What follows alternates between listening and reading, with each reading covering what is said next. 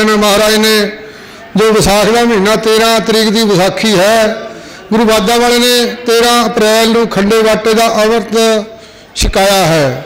ਆਓ ਜੋ ਬਾਜਾ ਵਾਲੇ ਨੇ ਫਤਿਹ ਬਖਸ਼ੀ ਹੈ ਪਿਆਰਿਓ, ਇੱਕ ਵਾਰੀ ਦੋ ਪਿਆਰ ਦਾ ਸਬੂਤ ਬੁਲਾਓ ਫਤਿਹ। ਆਖੋ ਜੀ, ਵਾਹਿਗੁਰੂ ਜੀ ਕਾ ਖਾਲਸਾ, ਵਾਹਿਗੁਰੂ ਜੀ ਕੀ ਫਤਿਹ। ਸੰਗਤਾਂ ਮੰਨਿਓ, ਬਹੁਤ ਸਾਰਾ ਬਾਹਰ ਭੇਜਿਆ ਜਾਂਦਾ ਹੈ। ਬਹੁਤ ਭਾਗਾਂ ਦੇ ਨਾਲ ਸੰਗਤਾਂ ਹਾਜ਼ਰੀ ਭਰਦੀਆਂ ਨੇ। ਕੋਈ ਦੁੱਧ ਮੰਗਦਾ ਹੈ, ਕੋਈ ਪੁੱਤ ਮੰਗਦਾ, ਕੋਈ ਬਾਹਰਲੇ ਦੇਸ਼ਾਂ ਦੀ ਸੇਵਾ ਮੰਗਦਾ, ਪਿਆਰਿਓ, ਸਾਰਿਆਂ ਦੀ ਆਸਾਂ ਤੇ ਮੁਰਾਦਾਂ ਮਹਾਰਾਜ ਪੂਰੀਆਂ ਕਰਦੇ ਨੇ। ਗੁਰੂ ਬਾਜਾ ਵਾਲੇ ਨੇ ਗੁਰੂ ਤੇਗ ਬਹਾਦਰ ਮਹਾਰਾਜ ਸੱਚੇ ਪਾਤਸ਼ਾਹ ਨੇ ਚਾਂਦਨੀ ਚੌਂਕ ਦੇ ਵਿੱਚ ਸਤਿਗੁਰੂ ਨੇ ਸੀਸ ਲਾ ਦਿੱਤਾ ਹੈ। ਮਹਾਰਾਜ ਨੇ ਬੇਟਮ ਭਾਈ ਜੇਤਾ, ਆਪਾ ਇਸਾ ਮਾਇਆ ਡੇਗੀ ਵੀਰ ਜੀ ਆ ਬਹੁਤ ਚੜ੍ਹਦੀ ਕਲਾ ਨਾਲ ਸੰਗਤਾਂ ਹਾਜ਼ਰੀ ਭਰਦੀਆਂ ਨੇ। ਖਜ਼ਾਨੇ ਗੁਰੂ ਗ੍ਰੰਥ ਸਾਹਿਬ ਮਹਾਰਾਜ ਸੱਚੇ ਪਾਤਸ਼ਾਹ ਭਰਪੂਰ ਕਰੇ। ਬੜੇ ਭਾਗਾਂ ਦੇ ਨਾਲ ਸੰਗਤਾਂ ਹਾਜ਼ਰੀ ਭਰਦੀਆਂ ਨੇ, ਕੋਈ ਦੁੱਧ ਮੰਗਦਾ ਹੈ, ਕੋਈ ਪੁੱਤ ਮੰਗਦਾ, ਕੋਈ ਬਾਹਰਲੇ ਦੇਸ਼ਾਂ ਦੀ ਸੇਵਾ ਮੰਗਦਾ, ਪਿਆਰਿਓ, ਸਾਰਿਆਂ ਦੀ ਆਸਾਂ ਤੇ ਮੁਰਾਦਾਂ ਮਹਾਰਾਜ ਪੂਰੀਆਂ ਕਰਦੇ ਨੇ। ਕਵੀ ਨੇ ਬੜੀਆਂ ਸੁੰਦਰ ਲਾਈਨਾਂ ਲਿਖੀਆਂ ਨੇ। ਉਹ ਕਹਿੰਦਾ, ਤੇਗ ਦੇਖ ਦੇ ਸਵੇਖ ਦੀ ਚਾ ਆਏ, ਜੀ ਕਰਦਾ ਚੜਾਂ ਦੀ ਧਾਰ ਉੱਤੇ ਚੜ ਧਾਰ ਪਾਉ ਸਾਗਰੋਂ ਪਾਰ ਹੋ ਜਾ ਮੁੜਦਾ ਸੰਸਾਰ ਉੱਤੇ। ਲਾਉਂਦੀ ਫਿਰੇ ਤਾਰੀਆਂ, ਤੇਗ ਤੇਰੀ ਮੇਰੇ ਚੱਲਦੇ ਖੂਨ ਦੀ ਧਾਰ ਉੱਤੇ ਹਰੀ ਖੁਸ਼ੀ ਵਿੱਚ ਚੌਂਕੜਾ ਮਾਰ ਵਹਿਆ, ਜਿਵੇਂ ਜੋਗੀ ਵਹਿਲੇ ਗੰਗਾ ਦੀ ਧਾਰ ਉੱਤੇ। ਸਤਿਗੁਰੂ ਨੇ ਕੇਸ਼ਗੜ੍ਹ ਦੇ ਮੈਦਾਨ ਦੇ ਵਿੱਚ ਖਾਲਸਾ ਪੰਥ ਦੀ ਮੰਗ ਕੀਤੀ ਹੈ। ਮਹਾਰਾਜ ਨੇ ਆਵਾਜ਼ ਮਾਰੀ, ਉੱਥੋਂ ਕੋਈ ਜੋਧਾ ਦੋ ਤੇਗ ਦੀ ਪਿਆਸ ਬੁਝਾ ਸਕੇ। 80000 ਦਾ ਇਕੱਠ ਹੈ ਪਿਆਰਿਓ, ਕੋਈ ਉੱਠਣ ਨੂੰ ਤਿਆਰ ਨਹੀਂ। ਸਾਰੀਆਂ ਸੰਗਤਾਂ ਭੱਜਣੀਆਂ ਸ਼ੁਰੂ ਹੋ ਗਈਆਂ। ਮਾਤਾ ਗੋਇਰ ਕੌਰ ਜੀ ਨੂੰ ਜਾ ਕੇ ਦੱਸਿਆ ਬਹੁਤ ਸਾਰਾ ਮਾਣ ਭੇਜਿਆ ਗਿਆ। ਪਾਤਸ਼ਾਹ ਚੜ੍ਹਦੀ ਕਲਾ ਰੱਖਣ, ਹਰ ਬੰਦੇ ਨੂੰ ਫਤਿਹ ਬਖਸ਼ਣ, ਖਜ਼ਾਨੇ ਗੁਰੂ ਵਾਜਾਂ ਵਾਲਾ ਭਰਪੂਰ ਕਰੇ। ਬੇਟਾ ਸਤਿਗੁਰਾਂ ਨੇ ਆਵਾਜ਼ ਮਾਰੀ, ਹੈ ਉੱਥੋਂ ਕੋਈ ਜੋਗਾ ਜੋ ਤੇਗ ਦੀ ਪਿਆਸ ਬੁਝਾ ਸਕੇ। ਖਾਲਸਾ ਜੀਓ, ਕੋਈ ਨਹੀਂ ਉੱਠਿਆ, ਸਾਰੇ ਭੱਜਣੇ ਸ਼ੁਰੂ ਹੋ ਗਏ।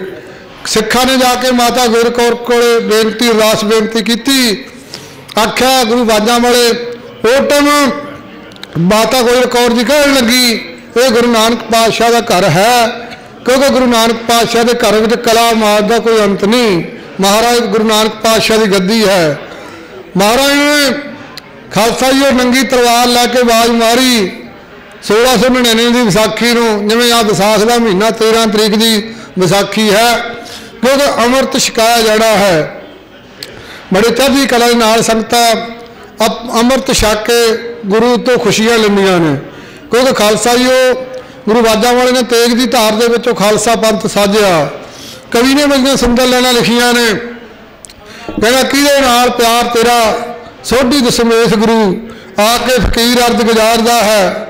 ਮਾਇਆ ਨਾਲ ਪਿਆਰ ਹੁੰਦਾ, ਨਦੀਆਂ 'ਚ ਨਾ ਸੁੱਟਦਾ ਪੁੱਤਰਾ ਨਾਲ ਪਿਆਰ ਹੁੰਦਾ, ਜੰਗ 'ਚ ਨਾ ਤੋੜਦਾ ਹੱਥ ਹੱਸ ਕੇ ਕਹਿਣ ਲੱਗੇ ਅਮਰਤ ਪਿਆਰਾ ਲੱਗੇ ਸਾਨੂੰ ਖੰਡੇ ਵਾਲੀ ਧਾਰ ਦਾ।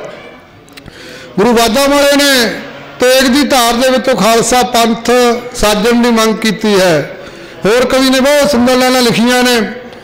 ਕਹਿੰਦਾ ਕਲਮੀਆਂ ਵਾਲਿਆ, ਕਲਗੀਆਂ ਵਾਲਿਆ ਤੇਰੀਆਂ ਕੁਰਬਾਨੀਆਂ ਨੇ। ਸਾਡਾ ਸੰਗਲ ਗੁਲਾਮੀ ਨਾਲਾ ਤੋੜ ਦਿੱਤਾ। ਮੇਲ ਜੋਲ ਕੇ ਚੋਹਾਂ ਸ਼੍ਰੇਣੀਆਂ ਨੂੰ ਨਵੇਂ ਇਤਿਹਾਸ ਬਲ ਕੌਮ ਨੂੰ ਮੋੜ ਦਿੱਤਾ। ਐਸੀ ਮੁਰਦਿਆਂ ਦਿਨਾਂ ਵਿੱਚ ਜਾਨ ਪਾਈ। ਫੜ ਕੇ ਚਿੜੀ ਦੇ ਆਵਾਜ਼ ਨੂੰ ਮਰੋੜ ਦਿੱਤਾ। ਇੱਕ ਹੱਥ ਮਾਲਾ ਦੇ ਕੇ, ਦੂਜੇ ਤਲਵਾਰ ਦੇ ਕੇ ਭਗਤੀ ਸ਼ਕਤੀ ਨੂੰ ਇਕੱਠੀਆਂ ਜੋੜ ਦਿੱਤਾ। ਮਹਾਰਾਜ ਨੇ, ਗੁਰੂ ਬਾਦਾਂ ਵਾਲੇ ਨੇ ਜਦੋਂ ਖਾਲਸਾ ਜੀ ਮੰਗ ਮੰਗੀ ਹੈ, ਉੱਠੋ ਕੋਈ ਯੋਧਾ ਜੋ ਤੇਗ ਦੀ ਪਿਆਸ ਬੁਝਾ ਸਕੇ। ਖਾਲਸਾ ਜੀ ਉਹ ਗੁਰੂ ਬਾਦਾਂ ਵਾਲੇ ਜਿਵੇਂ ਸਟੇਜ ਉੱਤੇ ਕਹਿ ਰਹੇ ਨੇ, ਮੈਂ ਪੰਥ ਖਾਲਸਾ ਸਾਜਣਾ ਤਲਵਾਰ ਦੇ ਵਿੱਚੋਂ। ਆਓ ਖਾਲਸਾ ਜੀ ਜੀਓ ਜਿਹਨੇ ਪ੍ਰੇਮ ਦੀ ਗਲੀ ਦੇ ਵਿੱਚ ਲੰਘਣਾ, ਤਲੀ ਤੇ ਆਵੋ ਸੀਸ ਰੱਖ ਕੇ। ਉੱਠੋ ਕੋਈ ਯੋਧਾ ਜੋ ਤੇਗ ਦੀ ਪਿਆਸ ਵੀ ਆ ਸਕੇ। ਕਿਉਂਕਿ 80000 ਦਾ ਕੱਟ ਹੈ, ਗੁਰੂ ਬਾਜਾ ਵਾਲੇ ਜਿਵੇਂ ਮੰਗ ਮੰਗ ਰਹੇ ਨੇ, ਆਓ ਨਾ ਲੈਣਾ ਨੂੰ ਜਥਾ ਹੈ ਉਹ ਕਹੀ ਜਾਂਦਾ ਹੈ। ਜਿਨ ਪ੍ਰੇਮ ਦੀ ਗਲੀ ਦੇ ਵਿੱਚ ਨੰਗਣਾ, ਤਲੀ ਤੇ ਆਵੋ ਸੀਸ ਰੱਖ ਕੇ ਜਿਨ ਪ੍ਰੇਮ ਦੀ ਗਲੀ ਦੇ ਵਿੱਚੋਂ ਨੰਗਣਾ, ਤਲੀ ਤੇ ਆਵੋ ਸੀਸ ਰੱਖ ਕੇ, ਗੁਰੂ ਆਏਗਾ ਤੰਬੂ ਵਿੱਚ ਵਾਰਸੀ। ਹੱਥ ਵਿੱਚ ਨੰਗੀ ਤਲਵਾਰ ਸੀ। ਗੋਰਾ ਕਿਆ ਅੱਜ ਨਹੀਂ ਸੰਗਣਾ ਤਲੀ ਤੇ ਆਵੋ ਸੀਸ ਰੱਖ ਕੇ। ਨੀਨੇ ਪ੍ਰੇਮ ਦੀ ਗਲੀ ਦੇ ਵਿੱਚੋਂ ਨੰਗਣਾ। ਤਲੀ ਤੇ ਆਵੋ ਸੀਸ ਰੱਖ ਕੇ। ਹੋ ਗੱਲਾਂ ਸੁਣ ਕੇ ਤੇ ਉੱਠਿਆ ਤੂਫਾਨ ਸੀ। ਗੱਲਾਂ ਸੁਣ ਕੇ ਤੇ ਉੱਠਿਆ ਤੂਫਾਨ ਸੀ।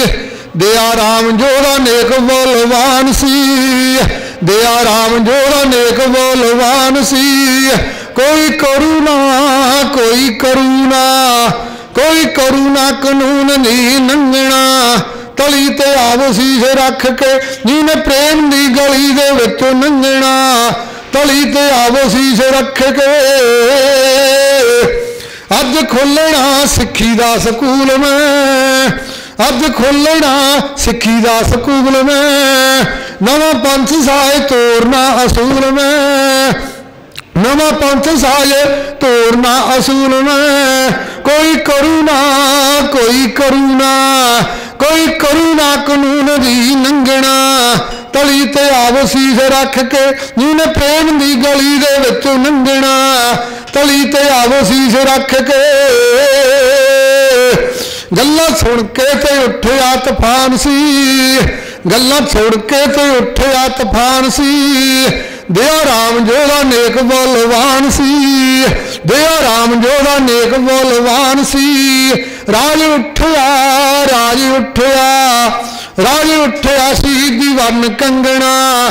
ਤਲੀ ਤੇ ਆਵ ਸੀਸ ਰੱਖ ਕੇ ਜਿਹਨੇ ਪ੍ਰੇਮ ਦੀ ਗਲੀ ਦੇ ਵਿੱਚੋਂ ਨੰਗਣਾ। ਤਲੀ ਤੇ ਆਵੋ ਸੀਸ ਰੱਖ ਕੇ। ਜਿਹਨੇ ਪ੍ਰੇਮ ਦੀ ਗਲੀ ਦੇ ਵਿੱਚ ਲੰਘਣਾ ਤਲੀ ਤੇ ਆਵੋ ਸੀਸ ਰੱਖ ਕੇ। ਦਿਆ ਰਾਮ ਜੋਧਾ ਨੇਕ ਬਲਵਾਨ ਸੀ, ਰਾਜ ਉੱਠਿਆ ਸ਼ਹੀਦੀ ਵਨ ਕੰਗਣਾ। ਤਲੀ ਤੇ ਆਵੋ ਸੀਸ ਰੱਖ ਕੇ ਜਿਹਨੇ ਤੇ ਪ੍ਰੇਮ ਦੀ ਗਲੀ ਦੇ ਵਿੱਚ ਲੰਘਣਾ ਗੱਲਾਂ ਸੁਣ ਕੇ ਉੱਠਿਆ ਤੂਫਾਨ ਸੀ। ਦਿਆ ਰਾਮ ਜੋਧਾ ਨੇਕ ਬਲਵਾਨ ਸੀ, ਰਾਜ ਉੱਠਿਆ ਸ਼ਹੀਦੀ ਵਨ ਕੰਗਣਾ। ਤਲੀ ਤੇ ਆਵੋ ਸੀਸ ਰੱਖ ਕੇ ਜਿਹਨੇ ਪ੍ਰੇਮ ਦੀ ਗਲੀ ਦੇ ਵਿੱਚ ਲੰਘਣਾ ਅੱਜ ਖੋਲਣਾ ਸਿੱਖੀ ਦਾ ਸਕੂਲ ਮੈਂ, ਨਵਾਂ ਪੰਥ ਸਾਹਿਬ ਤੋਰਨਾ ਅਸੂਲ ਮੈਂ। ਕੋਈ ਕਰੂਣਾ ਕਾਨੂੰਨ ਦੀ ਲੰਘਣਾ ਤਲੀ ਤੇ ਆਵੇ ਸੀਸ ਰੱਖ ਕੇ ਜਿਹਨੇ ਪ੍ਰੇਮ ਦੀ ਗਲੀ ਦੇ ਵਿੱਚ ਲੰਘਣਾ ਮਹਾਰਾਜ ਨੇ ਸਤਿਗੁਰੂ ਨੇ ਆਵਾਜ਼ ਮਾਰੀ, ਉੱਠੋ ਕੋਈ ਜੋਧਾ, ਜੋ ਤੇਗ ਦੀ ਪਿਆਸ ਬੁਝਾ ਸਕੇ। ਖਾਲਸਾ ਜੀਓ, ਕੌਣ ਉੱਠਿਆ ਭਾਈ ਦਿਆਰਾਮ? ਭਾਈ ਦਿਆਰਾਮ ਲਾਹੌਰ ਸ਼ਹਿਰ ਦੇ ਰਹਿਣ ਵਾਲਾ। ਗਲ ਵਿੱਚ ਪੱਲੂ ਪਾ ਕੇ ਕਹਿਣ ਲੱਗਾ, ਮਹਾਰਾਜ, ਮੇਰਾ ਸੀਸ ਹਾਜ਼ਰ ਹੈ। ਮਹਾਰਾਜ ਨੇ ਪੁੱਛਿਆ, ਭਾਈ ਦਿਆ ਰਮਾ ਕਿਹੜੇ ਸ਼ਹਿਰ ਦਾ ਰਹਿਣ ਵਾਲਾ? ਕਿਹੜਾ ਸ਼ਹਿਰ ਗਰਾਹਾਂ ਤੇਰਾ ਕਿਸਮਾ ਪਿਓ ਦਾ ਜਾਇਆ। ਵੀ ਕਿਹੜੇ ਸ਼ਹਿਰ ਦਾ ਰਹਿਣ ਵਾਲਾ? ਮਹਾਰਾਜ ਨੇ ਪੁੱਛਿਆ। ਕਹਿਣ ਲੱਗਾ, ਮਹਾਰਾਜ, ਮੈਂ ਲਾਹੌਰ ਸ਼ਹਿਰ ਦੇ ਰਹਿਣ ਵਾਲਾ। ਲਾਹੌਰ ਸ਼ਹਿਰ ਦੇ ਵਿੱਚ ਮਹਾਰਾਜ ਨੇ ਆਖਿਆ, ਕਿਵੇਂ ਦਿਆ ਆ ਗਈ?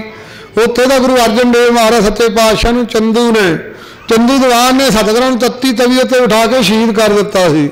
ਉਹ ਟਾਈਮ ਭਾਈ ਦਿਆਰਾਮ ਕਹਿਣ ਲੱਗਾ, ਮਹਾਰਾਜ, ਤੁਹਾਡੀ ਕਿਰਪਾ ਹੈ।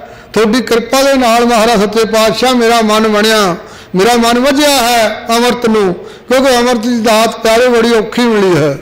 ਗੁਰੂ ਬਾਜਾ ਵਾਲੇ ਨੇ ਸਾਰਾ ਪਰਿਵਾਰ ਦੇਸ਼ ਖਾਤਰ ਲਾ ਦਿੱਤਾ। 14 ਜੰਗਾਂ ਕੀਤੀਆਂ ਨੇ। ਬਾਲ ਉਮਰ ਦੇ ਵਿੱਚ ਗੁਰੂ ਤੇਗ ਬਹਾਦਰ ਨੂੰ ਸਤਿਗੁਰੂ ਨੇ ਚਾਂਦਨੀ ਚੌਂਕ ਦਿੱਲੀ ਵੱਲ ਤੋੜਿਆ ਹੈ। ਸਤਿਗੁਰੂ ਨੇ ਆਪਣਾ ਸੀਸ ਅਨਾਉਂਸਮੈਂਟ ਕਰਨੀ ਵੀ ਕਰੋਨਾ ਦੇ ਟੀਕੇ ਲੱਗਦੇ ਨੇ ਗੁਰਦੁਆਰੇ 'ਚ, ਆਧਾਰ ਕਾਰਡ ਨਾਲ ਲੈ ਕੇ ਆਉਣਾ ਠੀਕ ਹੈ ਜੀ। ਹਾਂਜੀ, ਸੰਗਤਾਂ ਦੇ ਚਰਨਾਂ ਵਿੱਚ ਬੇਨਤੀ ਕੀਤੀ ਜਾਂਦੀ ਹੈ ਖਾਲਸਾ ਜੀਓ ਕਿਉਂਕਿ ਪ੍ਰਬੰਧਕਾਂ ਵੱਲੋਂ ਬੇਨਤੀ ਕਰਾਈ ਗਈ ਹੈ ਵੀ ਕਰੋਨਾ ਦੇ ਟੀਕੇ ਖਾਲਸਾ ਜੀ ਗੁਰਦੁਆਰਾ ਸਾਹਿਬ ਲੱਗਦੇ ਨੇ। ਜਿਹਨੇ ਵੀ ਟੀਕਾ ਲਵਾਉਣਾ ਹੋਵੇ, ਆਪਣੇ ਆਧਾਰ ਕਾਰਡ ਲੈ ਕੇ ਆਉਣ ਖਾਲਸਾ ਜੀਓ ਡਾਕਟਰ ਸਾਹਿਬ ਬੈਠੇ ਨੇ, ਬਾਹਰ ਖਾਲਸਾ ਜੀ ਦੁਆਰਾ ਫਿਰ ਬੇਨਤੀ ਕਰਦੇ ਆ ਵੀ ਕਰੋਨਾ ਦੇ ਟੀਕੇ ਖਾਲਸਾ ਜੀ ਲੱਗਦੇ ਨੇ।